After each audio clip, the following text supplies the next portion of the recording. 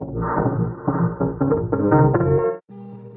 174 petawatts of solar that hits our Earth every single day. It's just an amazing amount of power, and this is one way to start harnessing some of that power and use it for transportation. I'm Mike Tinskey, and I'm the Director of Vehicle Electrification and Infrastructure at Ford Motor Company. Solar, which is we call PV or photovoltaic, has not only increased in its efficiency, but it's now gotten to a point where it's beginning to show uh, economic viability that we can actually power our vehicles, our, our plug-in hybrids like the C-Max Energy, on solar. In this particular case, we've um, taken about um, 1.5 square meters of solar uh, PV and put it on top of our uh, C-Max Energy, and it's called the C-Max Solar Energy Concept. Now, alone, that um, that solar will only generate about 300 watts of power, which is not enough to fully recharge the battery in, in one day.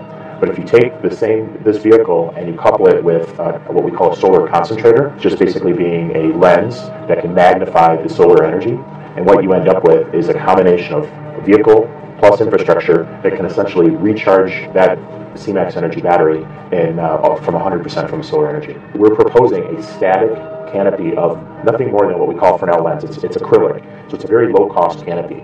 But the vehicle itself, as the sun traverses the sky from east to west, the, the vehicle will essentially move in the opposite direction and always keep that solar energy concentrated on the roof of, of the vehicle. So still using the same amount of uh, solar on top of the roof, but uh, getting that magnification that comes from uh, low-cost infrastructure, such as the, uh, the, the, concentrator that we've been looking at. It's an innovative way to find a low-cost, clean, renewable way of recharging the, the C-Max energy. SunPower cells are fundamentally different than conventional cells.